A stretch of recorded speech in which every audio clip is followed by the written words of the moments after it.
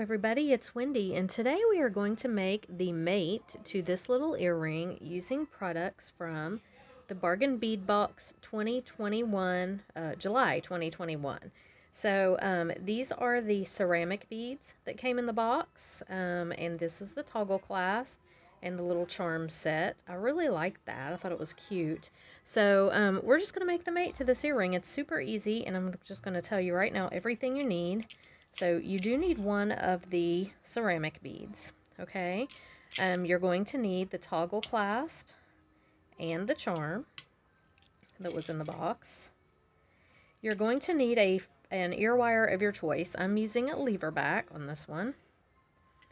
You will need two of the bead caps that were in the box. You will need one eye pin, um, possibly a jump ring. Did I use a jump ring on this? Yes, one jump ring. this is a little four millimeter jump ring. And then I have some um, fire polish beads here. I do not know. I'm sorry for the cut on my finger. It is not dirty. It has tie-dye ink in it. Um, and I can't get it out because it's in a cut on my finger. I did wear gloves while tie-dyeing, but um, obviously they leaked. So um, these are little 4 millimeter fire polish. I believe they are Montana blue something or other. I, I can't remember. Um, I've had them for a while. But, um, oh, actually here, I do have it on here. They are Aquamarine Azuro AB. okay, so there you go. Aquamarine Azuro AB but um, they look really pretty with this. So that is all you're going to need and some jewelry tools and optional is some E6000 glue. So this toggle comes right out here, just like this. Um, and if you are afraid that that will come out and you will lose your earring, um, you can take just a little bit of glue and just glue that in if you want to, or however you want to face it. You could even glue it up and down like this. Um, I don't, I haven't had any trouble. I've been playing with it here for a little while and I'm not had it fall out. So I don't think it would be a problem, but you could put a little glue there if you wanted just to be really sure, you know, that it wasn't going to. Okay, um, and that is all you need to make this earring. So let's get started with it. The first thing we're going to do is we're going to make our little middle piece here. And we're just taking the, the fire polish bead, and one of the bead caps. Now I'm putting the bead cap on facing down so it cups over the fire polish bead. I just like the way that looks. Then I'm putting on my ceramic bead and then my bead cap again facing the wrong way, facing up so that it cups the bead, the smaller bead, and then my other fire polish bead. I'm going to make a loop, just a regular loop, so 90 degree angle here. We are going to cut this off. And then I'm just going to use my round nose pliers to create a loop. And I am sorry for the condition of my hands. Again, it is tie-dye ink. I cannot get it off. Um, like I said, I thought I was doing a really good job protecting myself with gloves, but clearly it did not make that much difference. Um, they somehow it got in there anyway, and now I've got and I have a whole streak of it running down the front of my leg too, a big orange streak of tie dye that won't won't come off. I just can't get it off. Um, so anyway, crazy, but I have to get that off before Sunday because I really don't want to go to church with a big streak, orange streak down the front of my leg.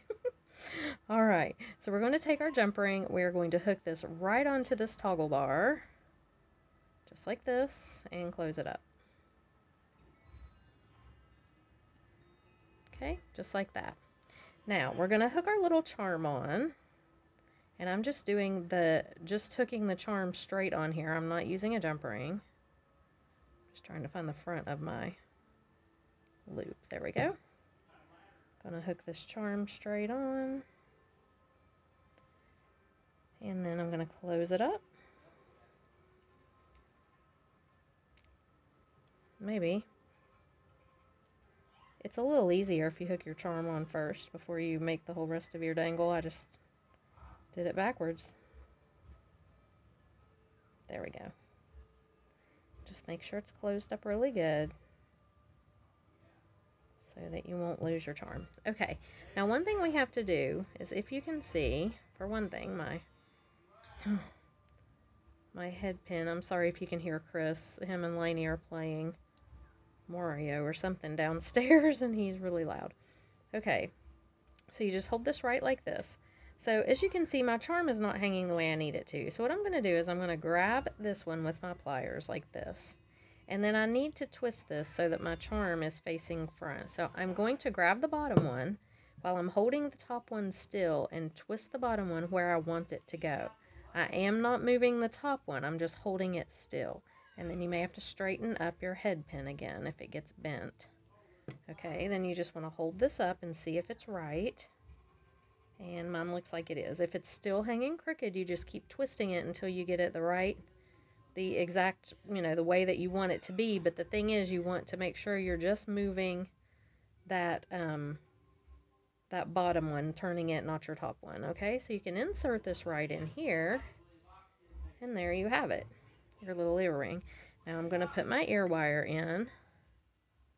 So I'm just going to open this up hang it directly on here on my lever back